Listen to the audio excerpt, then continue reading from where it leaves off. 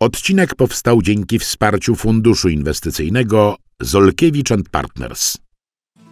W tegorocznym badaniu dotyczącym barier prowadzenia działalności gospodarczej w Polsce, przeprowadzonym przez Mason Partners na zlecenie Związku Przedsiębiorców i Pracodawców, przedstawicielom sektora małych i średnich przedsiębiorstw zadano pytanie brzmiące: Jakie Pana Pani zdaniem są największe przeszkody w prowadzeniu działalności gospodarczej w Polsce? Najwięcej, bo aż 76% badanych wskazało na niestabilność prawa jako jedną z głównych barier, zaś 18% uznała ową niestabilność za największy problem w prowadzeniu działalności, co stanowiło drugi wynik po kosztach pracy, na które wskazało 32% badanych. O wielkim znaczeniu stabilnych reguł prawnych była już mowa w czwartym odcinku podręcznika Wolna Przedsiębiorczość. Stabilne prawo zmniejsza niepewność, pozwala na długoterminowe planowanie, a co za tym idzie, zachęca do większych inwestycji. Większe inwestycje z kolei to bardziej efektywna produkcja, tańsze produkty dzięki ich zwiększonej podaży, a także często większa ilość miejsc pracy, co wpływa pozytywnie na poziom płac. Jednym słowem, stabilne prawo sprzyja wzrostowi poziomu życia. Mimo to, żyjemy w czasach, gdy prawo jest bardzo zmienne i powstaje wiele nowych przepisów. Według raportu Barometr Stabilności Otoczenia Prawnego w polskiej gospodarce autorstwa firmy Grant Thornton w 2017 roku przedsiębiorca czy obywatel, który chciałby mieć pewność, że jest na bieżąco ze zmianami w prawie, musiałby przeczytać 27 118 stron maszynopisu nowych aktów prawnych najwyższej rangi, ustaw i rozporządzeń, czyli 108 stron ustaw i rozporządzeń każdego dnia roboczego. W raporcie szacuje się, że zajęłoby mu to 3 godziny 37 minut dziennie, a nawet wtedy nie będzie miał pewności, że poznał zmiany w prawie, ponieważ powinien dodatkowo osadzić te zmiany przepisów w całym kontekście prawnym. Warto również zaznaczyć, że gdyby ów obywatel chciał przeczytać wprowadzone w zeszłym roku akty prawne wraz z odniesieniami do innych aktów prawnych w nich zawartych, czyli właśnie osadzić to w kontekście prawnym, zajęłoby mu to 62 lata bez przerw na jedzenie i na sen. I mimo, że w 2017 roku produkcja prawa była o 15% niższa niż w poprzedzającym go rekordowym roku, to według autorów raportu jest to jeden z najwyższych wyników od 1918 roku. Czy tak musi być? W odpowiedzi na to pytanie pomaga Bruno Leoni, włoski profesor prawa i autor książki Wolność i Prawo. Swoją analizę rozpoczyna od spojrzenia na system prawny w starożytnej Grecji i w starożytnym Rzymie. Informuje, że pewność prawa w koncepcji greckiej była pewnością prawa pisanego. Oznacza to, że prawo uważano za pewne, ponieważ było precyzyjnie wyrażone w formie pisemnej, co odróżniało je od arbitralnych nakazów tyranów. Tak rozumianą pewność prawa mamy również dziś. Prawo jest pewne w tym sensie, że mamy je precyzyjnie zapisane w ustawach, a każdy człowiek może się z taką ustawą zapoznać. Jednak jak informuje Leoni, Grecy stanęli przed podobnym do naszego problemem ze stabilnością prawa. Proces stanowienia prawa, szczególnie w demokracji ateńskiej, gdzie każdy pełnoprawny obywatel mógł zgłosić projekt ustawy, doprowadził do sytuacji, w której prawo co prawda było pewne w sensie precyzyjnego zapisu, ale żaden obywatel nie mógł mieć pewności, że obowiązujące dziś prawo będzie obowiązywać jutro, ani tego, czy to, co dziś jest dozwolone, jutro nie zostanie zakazane. Ateńczycy dostrzegli ten problem i w końcu V wieku przed naszą erą ateński polityk Menos przeprowadził reformę ustroju polegającą na tym, iż projekty ustaw proponowane przez obywateli były badane przez komisję sędziów zwaną Nomotetai, która miała za zadanie bronić starych praw przed propozycjami zmian. Oprócz tego wnioskodawca ponosił odpowiedzialność za negatywne skutki prawa przez niego zaproponowanego, jeśli zostało one przegłosowane przez zgromadzenie. Jeśli wykazano, że proponowane przez niego prawo ma poważne wady lub jest sprzeczne z innymi obowiązującymi wciąż lecz starszymi prawami, to mógł być on z tego tytułu sądzony, a karą mogła być nawet śmierć, choć zwykle kończyło się karą grzywny.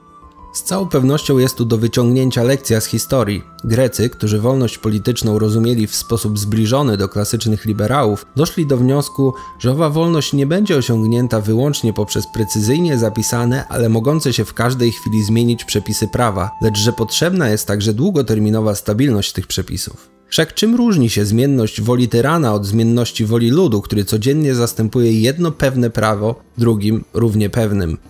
Pewność prawa w rozumieniu Greków jest bowiem pewnością krótkoterminową. Inaczej rozumiano pewność prawa w starożytnym Rzymie. Jak informuje Leoni, prawdopodobnie tak przywykliśmy do myślenia o rzymskim systemie prawnym w kategoriach corpus juris Justiniana, to znaczy w kategoriach kodeksu pisanego, że nie zdajemy sobie sprawy, jak prawo rzymskie rzeczywiście działało. Duża część przepisów prawa rzymskiego nie powstała w wyniku procesu legislacyjnego. Rzymskie prawo prywatne, które Rzymianie zwali jus civile, pozostawało praktycznie niezależne od ustawodawców przez większość długiej historii Republiki Rzymskiej i Cesarstwa Rzymskiego.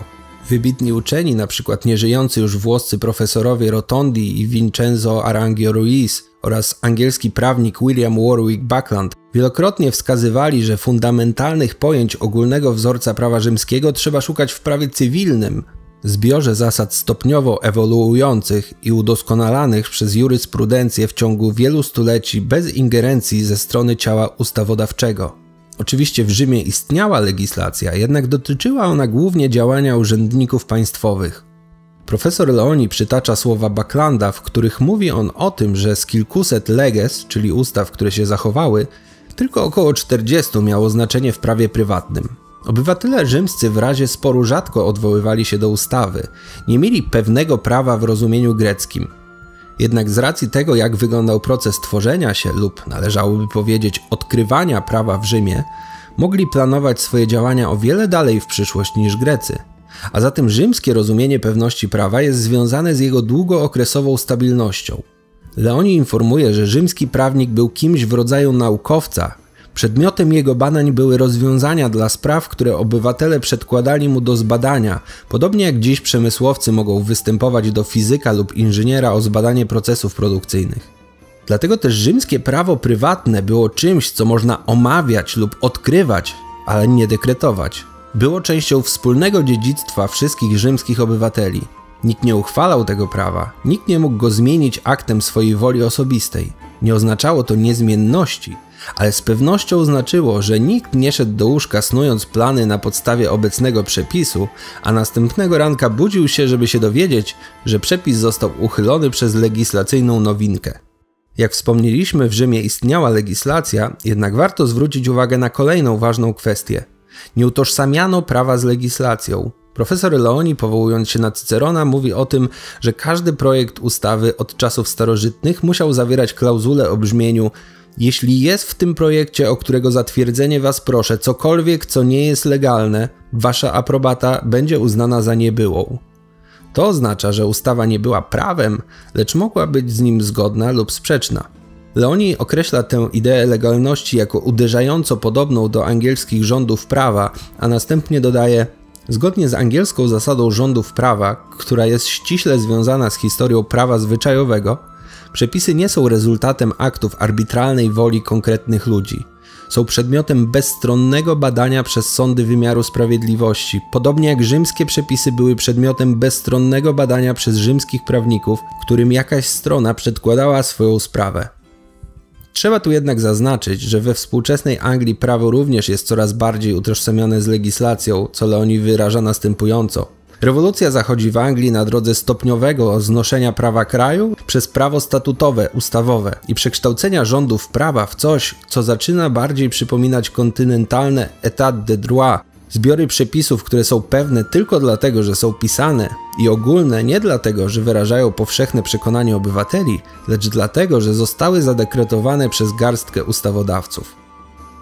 Tym tendencjom przeciwstawiali się angielscy prawnicy, np. Sir Matthew Hale, który podkreślał rolę czerpania wiedzy przez studia i lektury o tym, jakie były wyroki, postanowienia, rozstrzygnięcia i interpretacje w czasach dawniejszych, jako sposób na zachowanie pewności prawa i jego tożsamości. Chodziło mu o pewność długoterminową. Podobnie jak Hayek w ekonomii, tak Sir Matthew Hale przestrzegał przed zgubną pychą rozumu w prawie, gdy mówił – Wolę prawo, które udatnie rządziło królestwem przez 400 lub 500 lat, niż ryzykować szczęściem i pokojem królestwa, wprowadzając jakąś własną nową teorię. Zatem podsumowując, pewność prawa była rozumiana na dwa sposoby. Pewność krótkoterminowa jako precyzyjny zapis oraz pewność długoterminowa jako możliwość długofalowego planowania swych działań bez obaw o nagłe zmiany w prawie.